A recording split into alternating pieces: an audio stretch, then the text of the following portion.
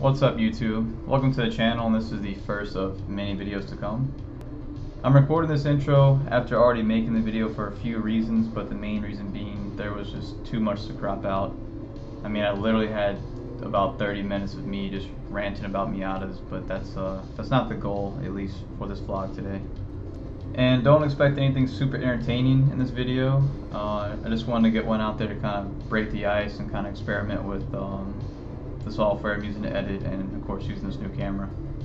There won't be any real track footage yet, that'll be in a different video to come along with the Miata, like a full, you know, whatever video for that as well and its current setup and, and what parts I will be installing on it very soon for uh, upcoming track days.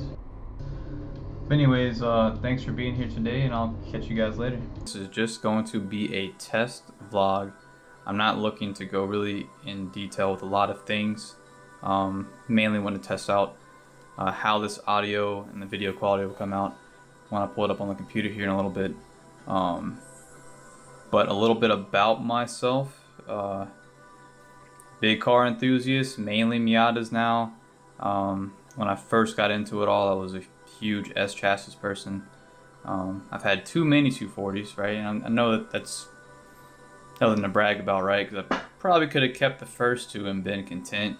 Um, but I get in this bad habit of just losing interest in a build and selling it just to say I should have kept that car, you know, and then of course later on I buy another one to do the same thing. This is a non-stop repetitive cycle.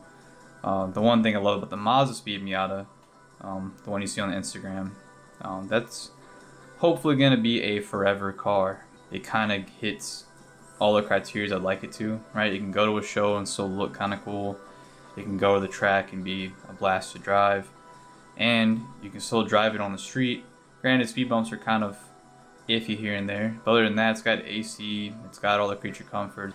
Yeah, Miatas, man. I could talk about those all, all day. Also, on top of being a car enthusiast, I love skateboarding. Nowhere near my prime like I used to be. I never was really that great.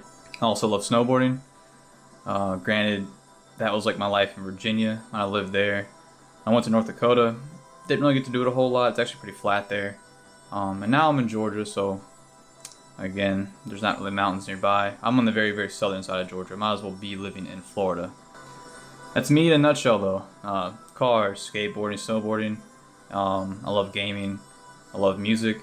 I love really everything except country. That's just not going to ever be a thing of mine. That's enough about myself, though. I do know that I want to cover my experience at uh, Road Atlanta.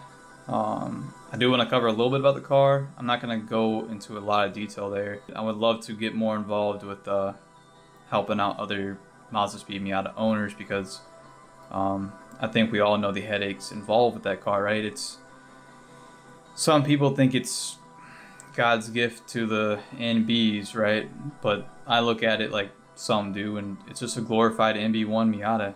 It's basically an NB1 with a facelift, a six-speed trans, beefier rear axles, whatever.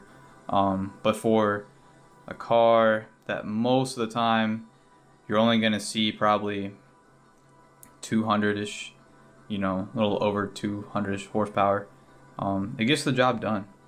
And with that being said, you can get the same job done with taking an NB1 Miata and just throwing a turbo on there. I, I have a whole write-up on that, um, and I'll put the link to that in my description, um, where I took my previous not previous, but my first ever Miata was a 2000 LS package. Um, I did a whole write up, like start to finish, from making it NA to turbo, some of the things you have to do along the way. Of course, I don't cover like tuning or whatever. You can go find plenty of videos online with, uh, you know, simple MegaSquirt, you know, tips and tricks, whatever. All right, so I've kind of went off on a huge rant I'm gonna go outside now, kind of look over the Mazdaspeed Miata, talk about what's going to be happening to it soon, and um, a little, little more detail here and there. So let's go outside. All right, so here's the car that everyone, well, most of y'all are probably familiar with, right? So 2005 Mazdaspeed Miata. Do not let the uh, fastback top fool you. This car isn't all really that special.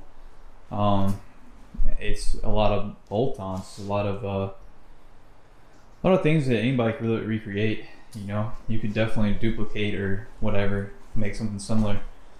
Time invested, of course, yeah, and money. But, uh, I mean, I'm not going to go over everything right now. This is simply just a quick little walk around.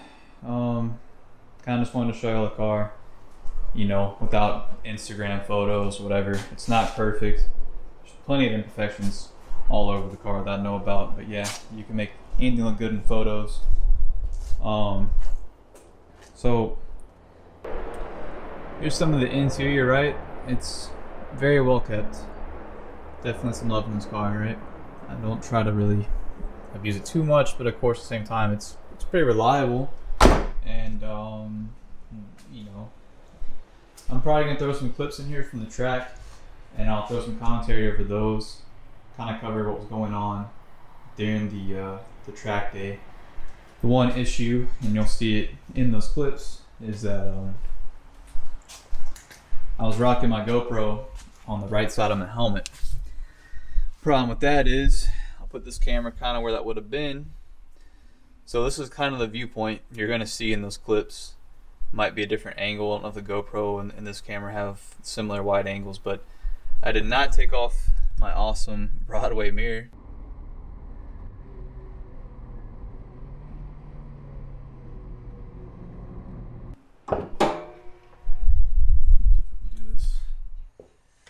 Yikes. Okay.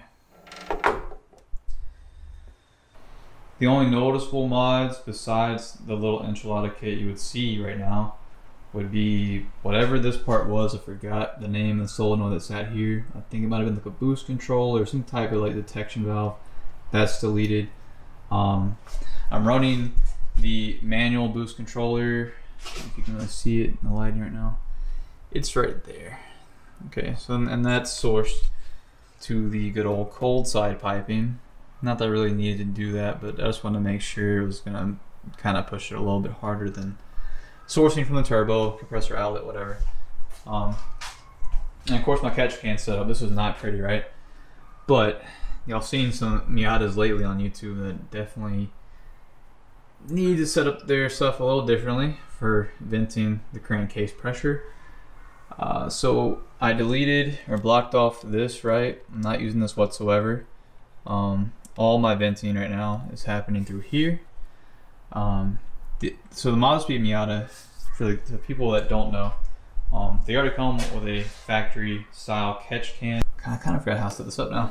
Okay, so this is the one that's allowing the vent to happen. It's draining down there. This is the other side of my vent going all the way down this factory line, but this, you know, this is a different Miata, whatever, just be another hose off the factory line down to here and then down to my VMS catch can. These are awesome. They're made, well, VMS Performance, but they're made here in the States. I want to say out of Florida. I'm hoping I can get this to be a thumbnail because I don't really know how all that works. I haven't posted on YouTube in a very, very long time. So, again, I'm going to do a different video where I really, really dive into like every little detail of the car just a quick little recap, okay? So I'm gonna be in the video here shortly. This is, again, my first test vlog, right, using this setup. I'm hoping the audio comes out kind of decently. Sorry again that I mumble a lot, I talk kind of fast sometimes. I'm also very monotone. Those are all recipes for not a very good or uh, entertaining speaker um, that I'm working on. For those of you who are still around in this part of the video, awesome. I'm no pro. I'm no like technical expert with engines or anything like that. I'm a huge just bolt on and go guy. I don't have time for. I don't like having my cars on a lot of downtime unless it's absolutely necessary. But for the most part, I can say this confidently, and I don't even care if I jinx it. But I've had 20, 30 plus cars in my lifetime a lot of them being modified or different or whatever. And uh, yeah, I've never had one, not one, actually like blow up. And that's that's actually uh, something to be thankful for there because I've never had to experience like, oh no, I got to tear my engine down or source a rebuild or, or do whatever. All right, cutting the video here. I could talk all day, but that's not the kind of content people want to watch. I don't even want to watch that, right? I want people talking to a camera for 40 minutes straight. So I'm gonna change it up and uh, see you all in the next video.